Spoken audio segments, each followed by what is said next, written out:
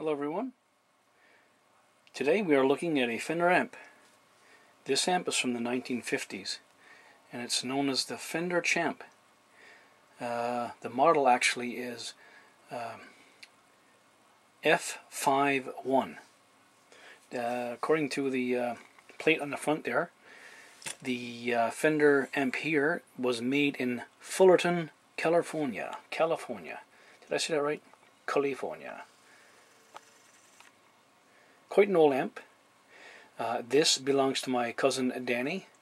He's home visiting from Ontario.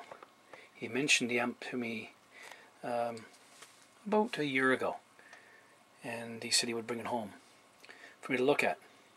So here it is. Uh, apparently, it's a well sought after amplifier, and we're just going to have a little peek at the uh, the, uh, the amplifier and just see how little is in the amp, but uh, very popular amp indeed. Now you'll have to excuse the uh, shadow of the uh, camera, but uh, here you'll see uh, a nice leather strap, uh, real old-fashioned way, the old school way of making a strap. Uh, as you can see, probably here, the actual fuse holder, not the, the fuse holder itself, but the fuse cap that would take the fuse and lock in place is missing. He had that, but the kids unfortunately unscrewed it and lost it and uh, this is your uh, light that indicates whether it's on or off. And you have the on off button here and volume button built into one. And you have channel 1 and channel 2 uh, channel 1 is a bit higher than channel 2 and uh, so basically uh, when you think of it uh, I, I don't think I've ever seen an amp before that never had tone or bass mid and treble. But this is it. What you see is what you get. Input on, uh, on switch and volume. And it's a tube amp. Let's have a look at that. Now here, as you may be able to see, and uh, again I apologize about the lighting in here, but uh, let me try this. We'll use a flashlight. You'll see uh, three tubes here. Uh, one, two, and three. Now uh, you'll also see back here in the back there an 8 inch speaker which is uh, original. Even the dust is original, I think. Pretty dusty. I just want to draw some attention to, if I can, let me try to zoom in here, on the actual electronics of the day. This is 1950s electronics. What you're looking at here is the, um, the fuse holder. Uh, this is the light bulb uh, unit here. tells you if it's on or off. Uh, and this is your volume button here and your two inputs which are right here. And you're looking at uh, some very old capacitors. And uh, surprisingly they look pretty good. I'm not so sure about the stuff sticking out of these two. Uh, I don't know if that's leaking or yes it looks like a bit of dirt or something coming out of those caps.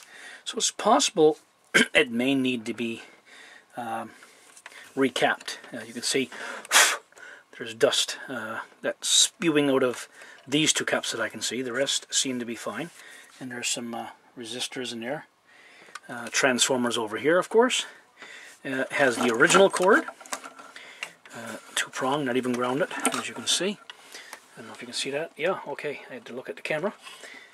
That's the original cord there.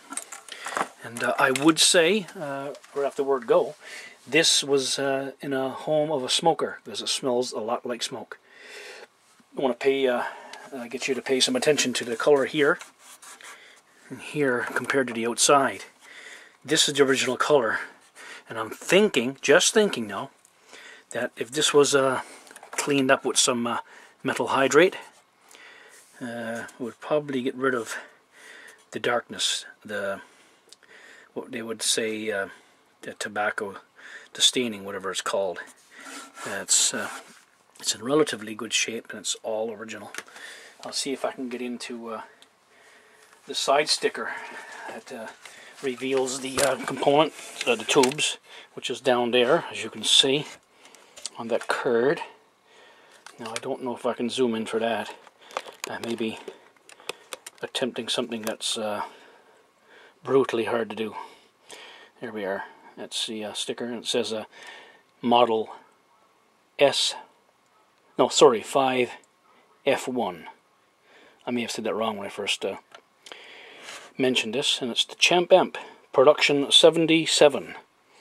Uh, I think that says 4A, so that must be an identification of a of a time and place.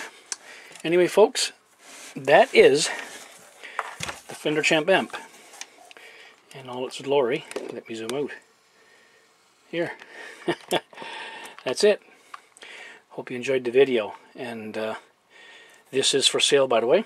I'm pondering about getting it. Uh, on eBay, they're going for 25 uh, 2,500 to $3,000 plus some even as high as 32 3300 uh, That's my cousin Danny owns it.